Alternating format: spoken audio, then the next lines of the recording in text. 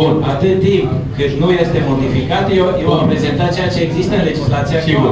Haideți să nu-i pănuim pe cei